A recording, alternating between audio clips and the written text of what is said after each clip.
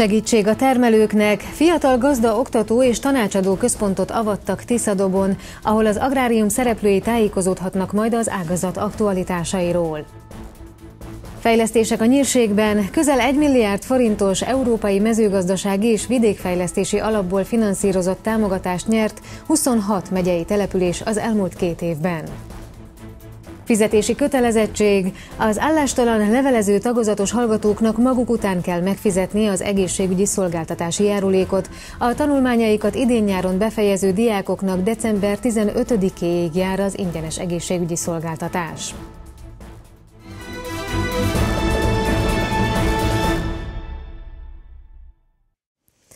Fiatal gazda oktató és tanácsadó központot avattak Tiszadobon. A Kölcsei Televízió iradóját látják. Köszöntöm Önöket!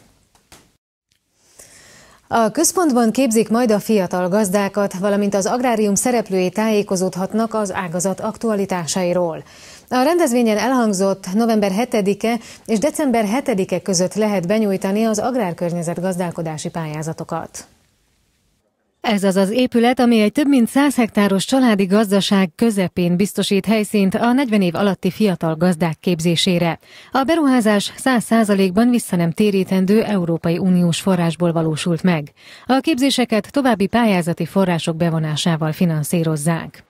Az Észak-Alföldi Fiatal Gazdák szervezete líder együttműködési programján keresztül pályázatot nyert oktató és rendezvényközpontok kialakítására. Hat ilyen épület valósult meg országosan, abból az egyik pont is már bereg megyébe Tiszadobon. Ennek az épületnek az átadásán vagyunk most itt ebben a pillanatban.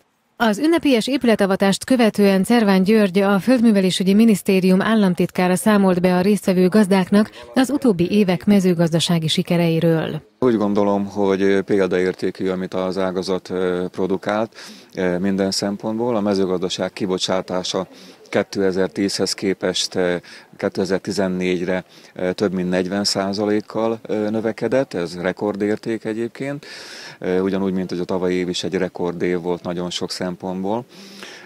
Ezen kívül a beruházások értéke meghaladta a 320 milliárd forintot tavaly, ez szintén mint egy 50 kal nagyobb, mint 2010-ben volt, amit még talán Kiemelnék, hogy nőtt a foglalkoztatottak száma is, illetve az agrárkülkereskedelem is egy nagyon jó eredményeket ért el az utóbbi években. Most már a harmadik éve az agrárexport meghaladja a 8 milliárd eurót, ami még ennél is fontosabb, hogy az agrár export-import egyelek, tehát az aktívum, az pedig 3-3,5 milliárd euró között mozog ez a nemzetgazdaság külker aktívumának mint egy a felét teszi ki, tehát ez egy óriási teljesítmény, és úgy gondoljuk, hogy még ezt tovább is lehet növelni. A növekedéshez elengedhetetlen a folyamatos képzés, amihez megfelelő helyszínt biztosít majd a Tiszadobi Oktató Központ, hangzott el a rendezvényen. A rendezvényközpont konferencia termében meg is tartották az első két előadást az éppen aktuális pályázati lehetőségekről. A kertészet korszerűsítése című program pályázati felhívásairól szerettem volna néhány információt közzétenni a, a szakemberek körében. Sajnos ez a pályázati felhívás még nem jelent meg, így csak a vidékfejlesztési programban megjelent általános irányelvekről beszélgettünk.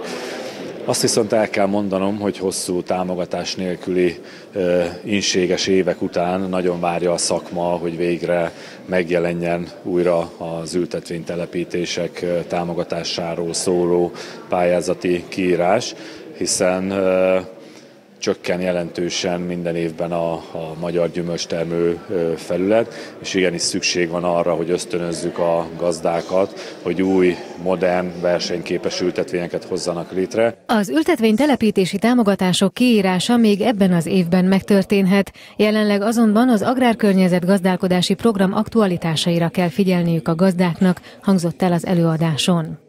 Az agrárkörnyezet gazdálkodás programról tartottam most egy rövidebb előadást. Ez november 7-én indul az új AKG, amely egy 5 éves kötelezettségvállalás von maga után. Ezt most lehet erre pályázni. November 7 és december 7-e között lehet elektronikus úton beadni a pályázatokat. Erre a dátumra kell figyelni. Valamint arra, hogy akiknek nincsen területeik beazonosítva, azokat külön GPS-szel be kell mérni, és azt is december 7 legkésőbb meg kell történnie. Az agrár környezet gazdálkodási, valamint az ültetvény telepítési támogatások mellett várhatóan állattartó telepekre és kis kapacitású gabonatárolókra lehet még pályázni ebben az évben. Közel 1 milliárd forintos európai mezőgazdasági és vidékfejlesztési alapból finanszírozott támogatást nyert 26 szabolcs már beregmegyei település az elmúlt két évben. A pályázatok lehívását az egy jobb életért közhasznú egyesület segítette, az elmúlt időszakban összesen 200 projekt részesült támogatásban. A források felhasználásával jelentősen fejlődtek a nyírségi települések. Az egy jobb életért közhasznú egyesület helyi akciócsoporthoz 26 nyírségi település tartozik. Céljuk a helyi vállalkozások, civil szervezetek, egyházközségek és önkormányzatok segítése vidékfejlesztési programok megvalósításában. Az elmúlt két évben 200 pályázaton összesen 1 milliárd forintot nyertek a települések, Nyírgyulajon több fejlesztés is megvalósult a programnak köszönhetően. Nagyon sok településfejlesztési akciónk volt. Szeretném ezek közül kiemelni a LIDER forrásoknak a felhasználását, amiből egyházak, civil szervezetek, vállalkozások, illetve az önkormányzat is részesült. Egyház esetében a templom, református templom felújítására, itt a parókia felújítására került sor, kialakításra került egy vállalkozás keretében egy vendégház, illetve egy fagyizó, valamint egy civil szervezetnél egy szociális blokkot egy, egy turista helységben. A felújításokhoz átlagosan 6 és 12 millió forint közötti támogatást kaptak a vállalkozók. Ebből vált korszerűvé például ez a vendégház is, ami felújított, de eredeti bútorokkal és a régi idők hangulatával várja az ide látogatókat. A legnagyobb összeget a templom és a parókia felújítására fordították, a református templomot közel 15 millió forintból, a mellette lévő épületet pedig mintegy 14,5 millió forintból rekonstruálták. Ezek a beruházások nem csak az itt élők érdekeit szolgálja, de a település turisztikai értékét is növeli. Én azt gondolom, hogy minden egyes felújításra szükség volt. Egy vállalkozása a saját maga sikerességét, a vállalkozásának hatékonyságát tudja ezzel növelni, civil szervezetek, egyházak pedig a saját kis infrastruktúrájáknak a szépítésére tudták ezt fordítani. A polgármester hozzátette, az elnyert pályázati forrásokat minden esetben hasznos beruházásra fordították, így ezek nyírgyulaj komplex fejlődéséhez nagyban hozzájárultak. Az állástalan levelező tagozatos hallgatóknak maguk után kell megfizetni az egészségügyi szolgáltatási járulékot. Ez havonta 6930 forintos kötelezettség, tájékoztatta televíziónkat a NAV regionális főigazgatóságának sajtóreferense. A tanulmányaikat idén nyáron befejező diákok esetében a diák igazolvány érvényességi idejének lejártát követő 45 napig, azaz december 15-éig jár az ingyenes egészségügyi szolgáltatás. A nappali tagozaton tanulók a tanulmányaik folytatása idején a hallgatói jogviszonyukra tekintettel ingyenes egészségügyi szolgáltatásra jogosultak olvasható a NAV tájékoztatójában. Azonban már fizetési kötelezettségük van azoknak, akik már a tanulmányaikat idén-nyáron befejezték és nem álltak munkába, valamint az állástalan levelező hallgatóknak is rendezniük kell jogviszonyukat. Nagyon sokan nem tudják, hogy akik nem nappali tagozaton folytatják a tanulmányaikat, hanem levelező tagozaton, a levelező tagozaton megkezdett tanulmányaikat követő 45 napig érvényes még az egészségbiztosítási szolgáltatásukra való jogosultságuk. Tehát az azt jelenti, hogy ingyenesen még 45 napig vehetik igénybe ezt a szolgáltatást. Azok, akik pedig befejezték már a tanulmányaikat az idén, december 15-ig jogosultak erre a szolgáltatásra ingyenesen. Ettől követően, vagy ezektől a napoktól követően természetesen saját maguknak kell befizetni ezt a 6930 forintot. Az egészségügyi szolgáltatási járulékot minden érintetnek meg kell fizetnie havonta, függetlenül attól, hogy orvosi szolgáltatást, ellátást igénybe vesz-e vagy sem. A fizetési kötelezettség szabályszerű teljesítése érdekében a NAV felé adatlapon kell bejelentést tenni. A gyermekek védelméről szóló törvény módosítását kezdeményezte a Magyar Szocialista Párt azok után, hogy november másodikán nem kapott többségi támogatást egy civil szervezet hasonló kezdeményezése a Népjóléti Bizottságban. A baloldali párt célja a mostani javaslattal, hogy az egyértelműen rászoruló gyermekek a hét minden napján térítésmentesen háromszori étkezésben részesülhessenek, hangzott el a párt nyíregyházi sajtótájékoztatóján. Jeszenszki András, az MSZP megyei választmányának elnöke elmondta, Elsősorban a gyermekeket ellátó intézmények kapnának kiemelt szerepet, az intézményben nem járó gyermekek esetében pedig az önkormányzatokat célozza meg a javaslat a feladat ellátójaként mintegy 50 milliárd forintba kerülne ennek a biztosítása, és hát látjuk, hogy milyen összegeket költ a kormány különböző PR feladatokra, stadionokra, vagy éppen ugye a e, miniszterelnök lakhelyének a fűtős stadionjára. Tehát e, egyértelműen azt látjuk, hogy megvan ezekre a forrás az ország költségvetésében. Itt a szándék lenne a fontos, hogy egyrészt beismerni azt, hogy igen, Magyarországon a gyermekéhezés létező probléma, és aztán megtenni a következő lépést, méghozzá azt, hogy elindulna a gyermekéhezés felszámolásának az útján.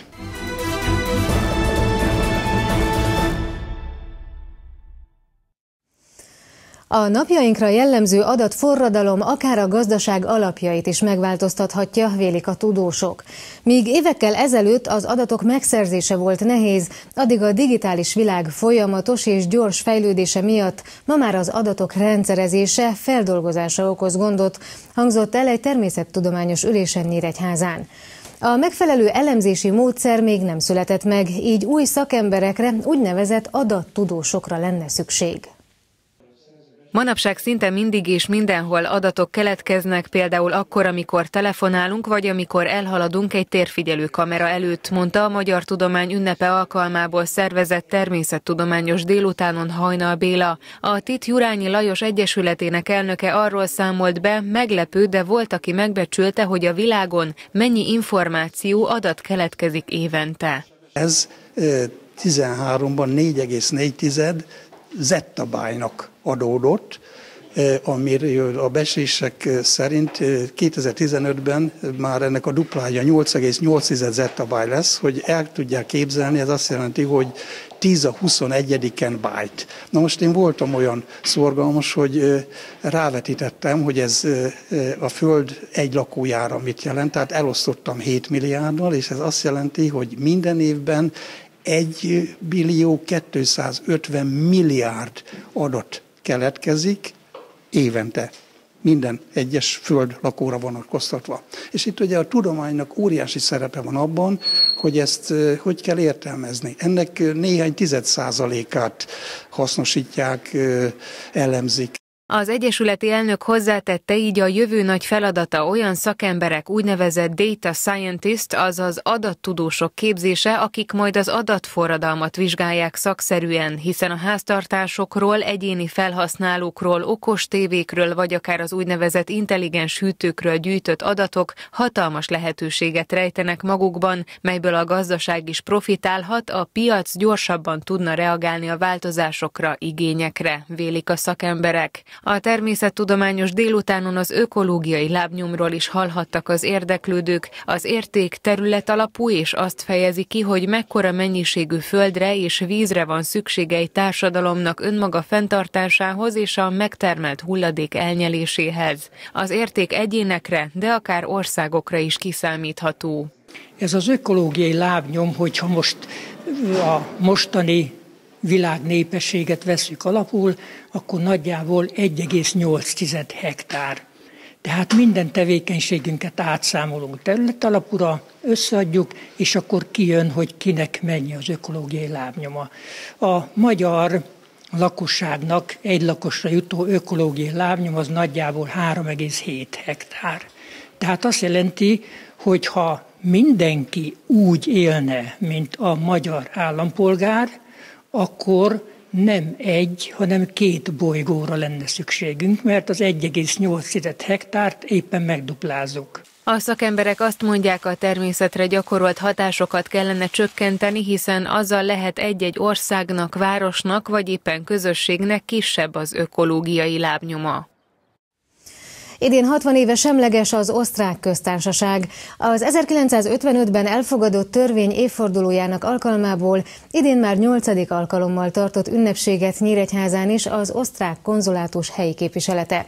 A rendezvényen többek között szó volt a két ország közötti gazdasági kapcsolatok kiegyensúlyozott működéséről és a politikai nézetkülönbségekről is. Az osztrák köztársaság 1955-ben azért nyilvánította önmagát örökösen semlegesnek, mert csak ezzel érhették el, hogy az akkori megszálló hatalmak elhagyják az ország területét, így lehetővé téve, hogy Ausztria is betagolódjon a szabad, független, szuverén nyugat-európai államok sorába, hangzott el az ünnepségen. Minden évben egy ilyen kis ünnepi rendezvényre sor kerül, ahol az osztrák nemzeti ünnep alkalmából, ami igazából október 26-a, megemlékezünk arról, hogy 1955-ben elfogadták az örökös semlegességre vonatkozó törvényt. Ez számunkra itt Kelet-Magyarországon egyébként azért fontos, mert azok a kapcsolatok, amelyek mondjuk a Dunántúlon, főleg eh, annak is nyugati részén sokkal természetesebben mindig is adottak voltak, Bugenlandhoz, Bécshez kötődően, ezek a kapcsolatok itt Kelet-Magyarországon nem ennyire természetesen adottak, ezeket inkább segíteni, kezdeményezni kell, ha már létrejöttek, akkor az működésüket is segíteni kell és hát a konzoli képviseletnek többek között ez is egyik feladata, és egyszerűen tudatosítani kell itt a régiónak a lakosságában, hogy Ausztria van, egy jó szomszédi kapcsolatokról van szó, olyan kapcsolatról van szó, amelynek a ápolásából mi csak profitálni tudunk. Az ünnepségen részt vett az osztrák köztársaság budapesti nagykövetségének követ tanácsosa, aki sikertörténetként említette a két ország közötti gazdasági kapcsolatot.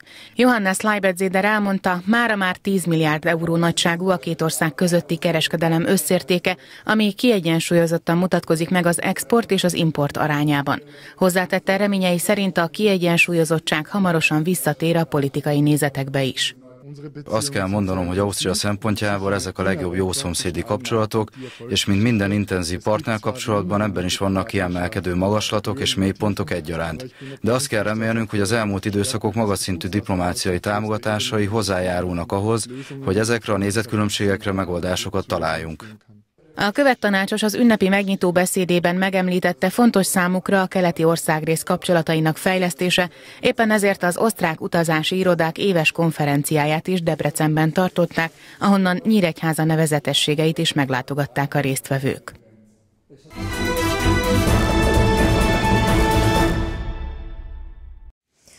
25-25-ös döntetlent játszott Orosházán a Nyíregyházi KC a férfi kézilabda NB1B 8. fordulójában. Varga Zsolt együttese az Algyő mögött két ponttal lemaradva jelenleg második a tabellán. Az NKC legközelebb az Ózd csapatát fogadja. A nagyszerű kezdés után némileg megtorpant a bajnokságban a Nyíregyházi KC.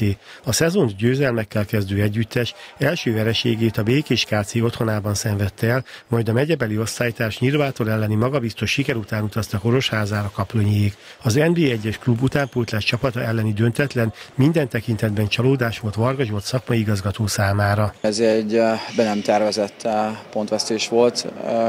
Igazából az a probléma, és azt láttuk, hogy, hogy túlságosan félváró vettük ezt a mérkőzést. Tehát amikor, amikor már észbe kaptunk, akkor már azt hogy majdnem késő volt. Ez több dolognak is köszönhető, és ezt még ki fogjuk elemezni, ez még nem, nem beszéltük ki teljes mértékben csapatszinten. Én azt gondolom, hogy a bajnokságot nagyon jól indítottuk, várakozás fölött. Én azt gondolom, 6-ból 6 meccset nyertünk, és egy picit úgy éreztem, hogy ott a békés meccs előtt a, a csapat megtorpant, hogy azt gondolta, hogy, hogy innentől kezdve már megvan a bajnokság is, legalább az őszi fordulója.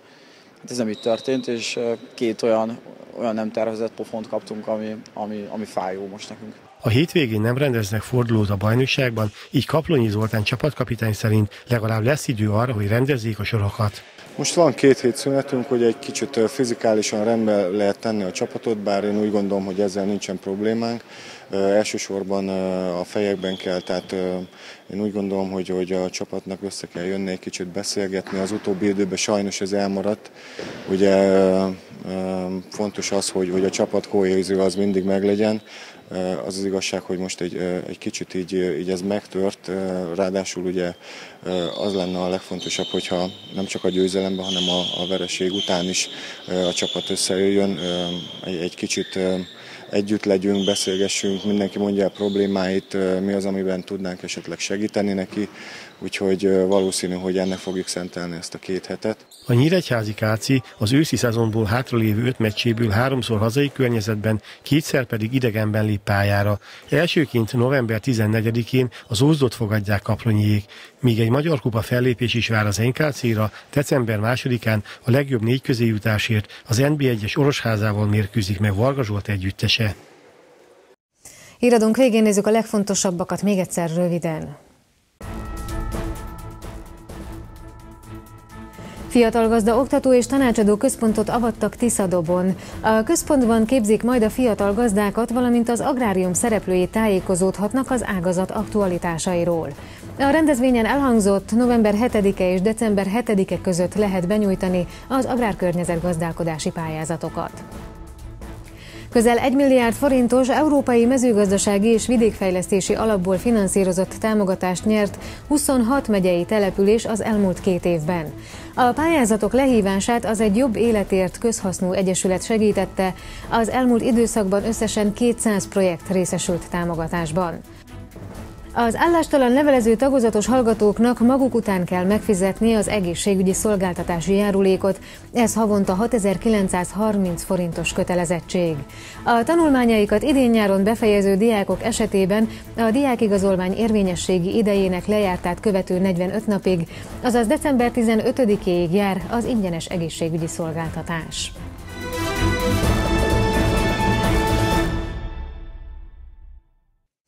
A Kölcsei Televízió csütörtöki hírműsorát látták. Friss hírekkel pénteken várjuk majd Önöket, addig is híreinket megnézhetik weboldalunkon. Én munkatársaim nevében is köszönöm szépen a figyelmüket viszontlátásra.